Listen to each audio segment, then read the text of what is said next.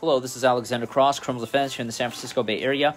If you would like to learn more about criminal defense, don't forget to subscribe to our channel, Law Offices of Cross and Associates, and feel free to ask questions in the comments section below so that we may respond in the future with more videos for you. So we received an interesting inquiry here on our YouTube channel.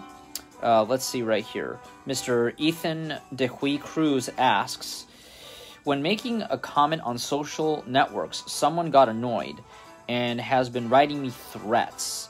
What is what is the crime when making threats through social networks? Well, if you if the person who is making these threats, if you believe that they have the potential to actually commit the crime that they are threatening, if you believe that uh, you know with pretty you know with good certainty that uh, that they're actually going to commit the crime and that you could be a victim, um, theoretically he could be charged with a violation of Penal Code Section 422 here in the state of California.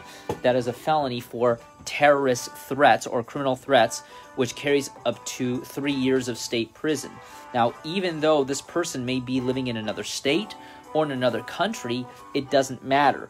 If he is uh, communicating with you through social media, he's essentially availing himself to the jurisdiction of the state of California, especially if there's evidence indicating that he is aware that you live in California, then he would definitely be availing himself to the jurisdiction of California. Now, if he doesn't live in California, eh, obviously if he's, you know, if he lives in another place and there's no evidence indicating that he was aware of where you were living, he could still be charged in his own state. Um, I couldn't tell you what the laws are in other countries, but if it was within the United States, he could still be charged. But if he's aware of where you live, oh, he's personally availing himself to your state, uh, aside from his own.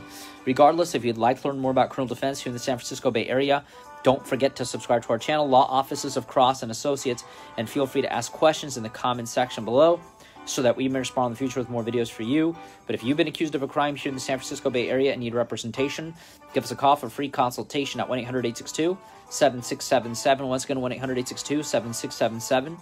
On our next video, we're going to be discussing violence against a minor, criminal lawyer, criminal lawyers, DUI lawyer, DUI lawyers, criminal attorney, criminal attorneys, DUI attorney, DUI attorneys.